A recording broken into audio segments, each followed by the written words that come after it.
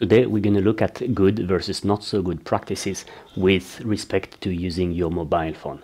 This video isn't really designed uh, to make me sound like uh, like a cool fancy guy. I may sound like a boring guy, but it's meant to save your neck, not to sound cool. Welcome, I'm Olivier Girard, ergonomist, posture therapist, author of the Posture Manual, and creator of three online posture programs. To avoid dogmas, let's start with biomechanics. You see, posture rule number two states that the neck can never be too relaxed. In other words, we should do everything that we can to relax the neck more. We cannot remove from our life everything that tenses up the neck, but our goal should be to minimize it. And what tenses up our neck? What we do with the neck?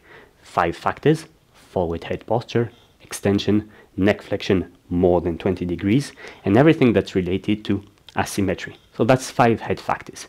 And next to that, we have four elbow factors. See your elbows are comfortable 0 to 20 degrees sideways, 0 to 20 forward. The rest tenses up the neck. So spreading the elbows more than 20 degrees, bringing them forward more than 20 degrees, pulling them back or raising them. These are the nine factors that we have to monitor. Now, let's look at how this applies to your mobile phone. See, basically, it's quite simple. Rule 2 states that your hands are comfortable somewhere around here and your eyes are comfortable somewhere around here. This is the reason why on a desktop you have your screen slightly lower than the line of your eyes and you have the keyboard right where your fingertips are. And therefore the vertical distance between the two is around this which is way bigger than the size of your mobile phone. So what happens when you have a mobile phone is either that you put it where your hands are comfortable and then you end up quickly with the forward head flexion more than 20 degrees or you put it where your eyes are comfortable but then we have this elevation flexion or elevation of the elbow i.e shoulder flexion more than 20 degrees which is another risk for the neck. Additionally, there's something more, which is that as the font size on the phone is small, we, due to visual tiredness, after a while we will go like this, forward head posture, which is another one of the nine factors, and actually the mother of all neck pains, headaches, and all that. And due to these biomechanical considerations, rough estimates, I mean, it's, it's dirty science, but just to give you an idea, are that every minute that you spend on your smartphone is equivalent to six minutes that you spend on your screen. How I came to that, I explain in the posture manual. Again, it's dirty science. Don't take me on that, but you know, that gives you some kind of an indication. This means that your mobile phone is an emergency device because when you use it, you mess up your neck six times more than when you use your uh, desktop. And the laptop would be a factor 3, by the way. So the smartphone is two times as risky as the laptop. As the smartphone is an emergency device, the measure number one to avoid neck pain is to wonder every time you take your phone, am I currently dealing with an emergency? If not, well, that can wait until you're on a better setup. So this is level one. Level one is avoid to find yourself in a toxic situation as much as you can. Level two is hardware, technical measures. And technical measures are depending on what you do with your smartphone. If you look carefully, there are actually a different use cases for your mobile phone.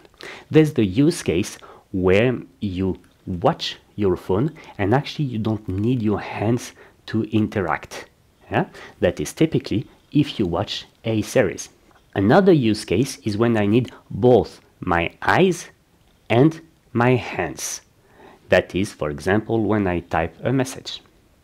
And the third use case is when I need neither my hands nor my eyes. I cannot really imagine a use case in which you need your hands and not your eyes, but sometimes you need neither one nor the other, for example, when you record a voice message.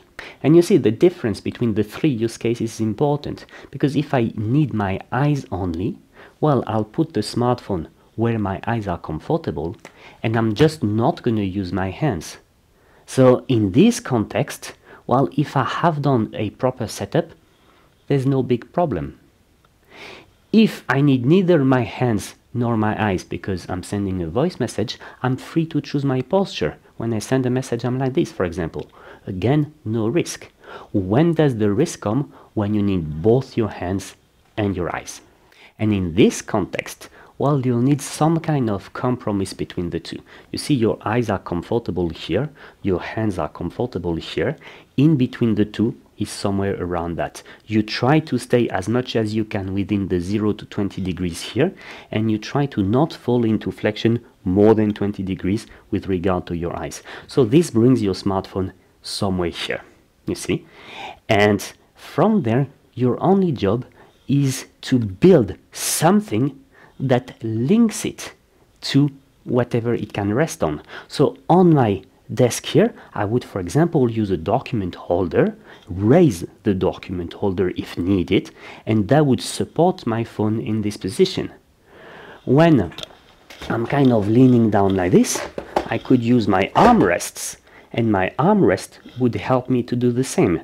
But in this position, I also need a headrest because my whole body is tilted back and without a headrest I will have tension in the in the front neck muscles to avoid that.